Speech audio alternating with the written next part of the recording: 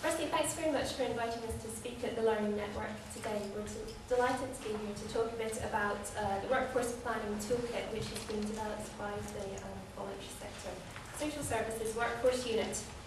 Um, as some of you may already know, the, uh, the workforce unit was set up about two years ago um, to support and promote the development of the voluntary sector social services workforce in Scotland. Um, and just to, to give you a very brief to the toolkit, um, about a year and a half ago, we um, asked members of our workforce development network what they thought the, the kind of key wish list for support from the um, workforce unit would be. And top of the list uh, was information and guidance on workforce planning, because members thought that workforce planning was something we, we kind of all know we ought to be doing. We're not 100% sure what it is. Um, and so our stakeholders thought that it would be useful to have some kind of a toolkit um, to help people get started and give people a few ideas of um, how to start the process and, and, put it into action within um, organisations. So we put together um, a small working group with stakeholders from the voluntary sector, but also with representatives from um, local authorities, the SSSC and the Scottish Executive to develop um, a toolkit and there's a copy of the toolkit is in your delegate packs today. So, and although it was developed with the voluntary sector in mind, um, we hope it's, it will be a useful tool guide for, for you, whatever organisation you're from. So today's presentation, um, we're going to do a quick background to the toolkit, which I've already done.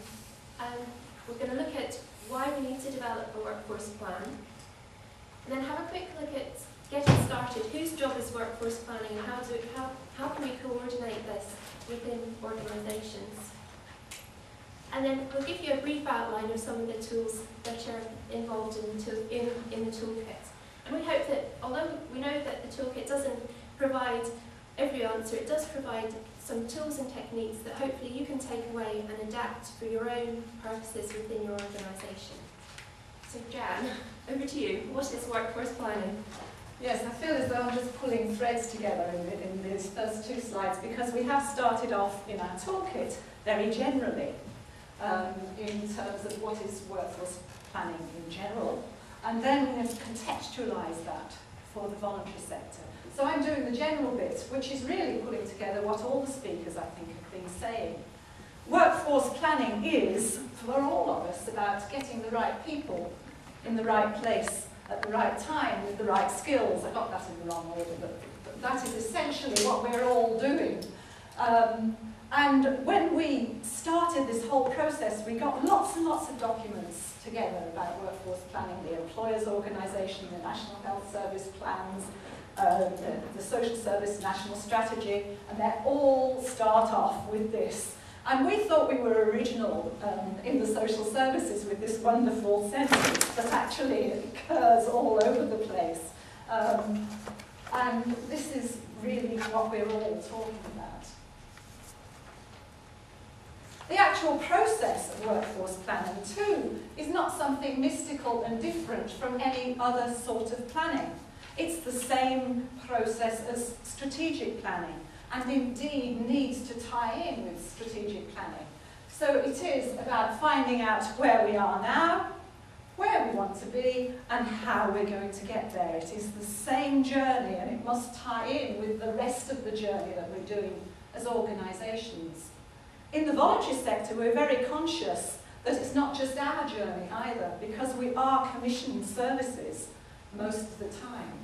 And therefore, we're commissioned from local authorities we're commissioned from the health service also, so we have to be very aware of what's going on in terms of strategic planning and workforce planning in local authorities and in the health service. It's not just us, we are in a very big context, and Caroline's going to say a little bit more about the process now. Oh no, I've got another one to do. I've forgotten about this one. this again is really pulling together what we've all been saying this morning. Why workforce plan? Workforce planning is a very exciting process because it does make organisations better.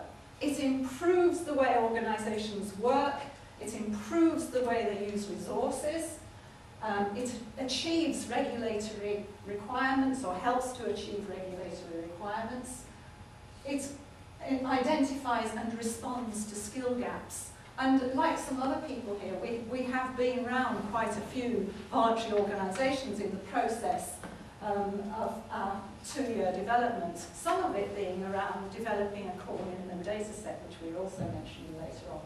But many organisations didn't know what their staff was, let alone what the skill gaps were. And, and this whole process of planning does get us to look at, at who we are and what we've got. Um, it helps for planning and learning and development. It certainly improves our recruitment and retention rates. Ultimately, what Wendy was saying at the very beginning is if all this is about service users and carers and improving our service delivery. And this is an essential part of improving our service delivery. And it does make us look at the environment, the external policy environment and the whole external environment and internal environment and get us to respond better to what those are.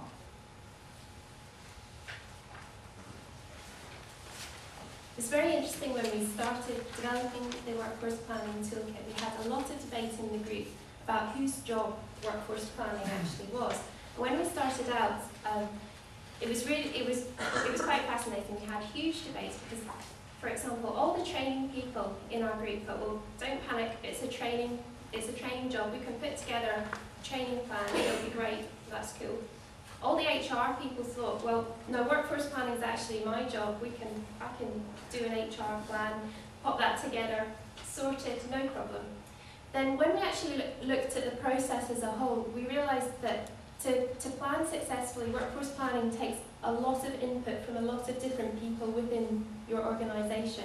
And one of the big challenges is coordinating it and pulling in the ideas and experiences and expertise from everybody within your organisation.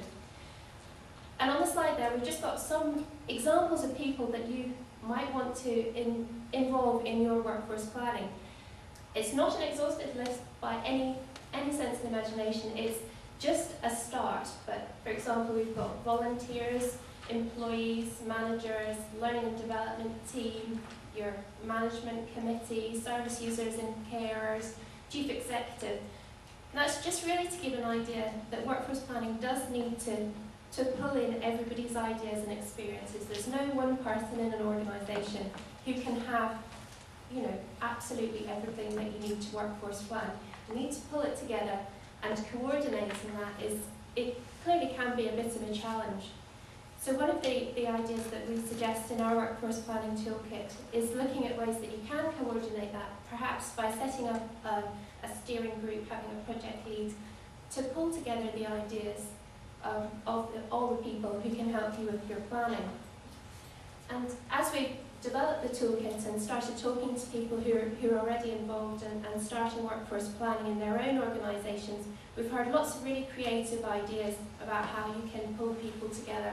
So for example, um, one organisation we know was breaking down workforce planning into more bite-sized chunks and putting together little change groups within the organisation so that people can contribute their ideas and then see exactly how their ideas and contributions can make a practical difference to their jobs and to their organisation. That's just one idea. Obviously, it depends a lot on your organisation and uh, what, what suits you